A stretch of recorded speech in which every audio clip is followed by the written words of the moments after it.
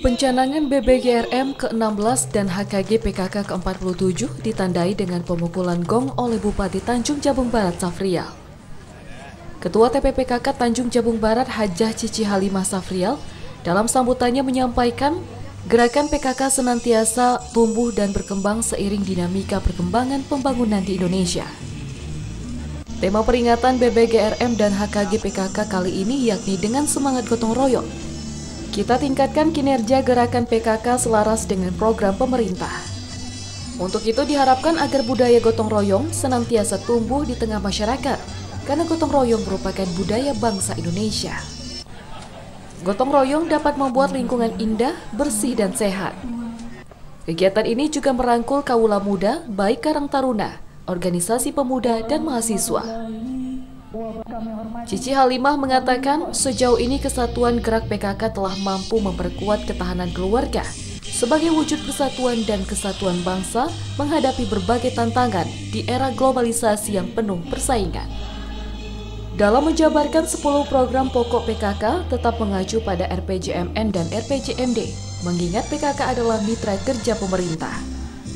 Cici berharap dengan peringatan HKG ini, jajaran TPPKK secara berjenjang mampu membuktikan kinerjanya dengan berupaya keras, menjalankan program kerja yang selaras, sesuai kebutuhan masyarakat dan program kerja pemerintah, guna terwujudnya visi misi gerakan PKK. Selain itu juga menunjukkan kiprah dan karya nyata gerakan PKK dalam usahanya memberdayakan dan mensejahterakan keluarga. Bukan semata-mata merupakan kegiatan rutin tahunan saja, juga bukan merupakan kegiatan yang hanya syarat dengan acara seremonial sesaat saja. Kemudian setelah itu tidak ada lagi gaungnya.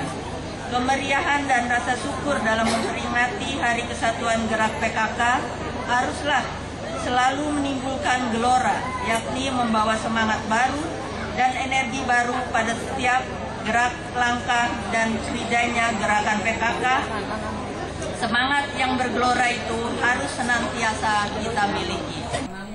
Bupati Safrial mengatakan, pencanangan BBGRM menjadi momentum yang baik untuk semakin memantapkan tekad dan meningkatkan semangat rasa kebersamaan atau kegotong royongan bagi seluruh lapisan dan komponen masyarakat Tanjung Jabung Barat. Bupati mengingatkan kepada para anggota PKK untuk menjaga semangat dalam pengabdiannya dalam meningkatkan kesejahteraan keluarga dan masyarakat.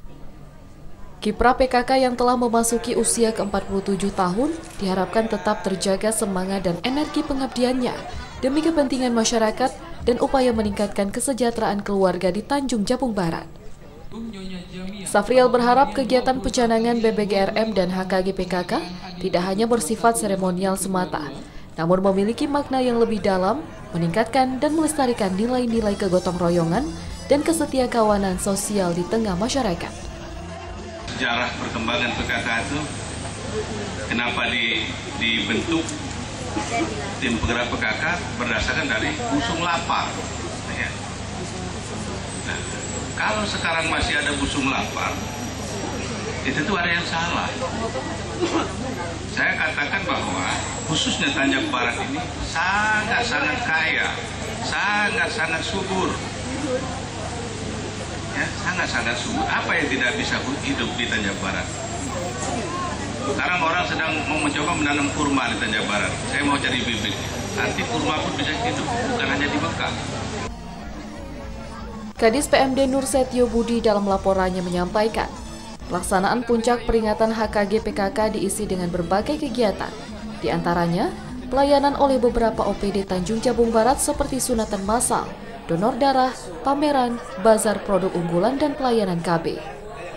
Selain itu juga diberikan bantuan bibit ikan dan sayuran, penyerahan kartu identitas anak, pelayanan BPJS Kesehatan, dan pelayanan pajak. RM ke-16 dan HKG PKK ke-47 sebagai berikut. Satu, Permendagri nomor 42 tahun 2005 tentang penyelenggaraan bulan bakti gotong royong masyarakat. Dua, keputusan Bupati Tanjung Jabung Barat nomor 972 garis miring Kep Bupati garis miring PMD garis miring 2019 Di akhir acara dilakukan penyerahan piala kepada masing-masing pemenang oleh Bupati dan Ketua TPPKK Tanjung Jabung Barat. Ari Yusuf, TPRI Jambi melaporkan.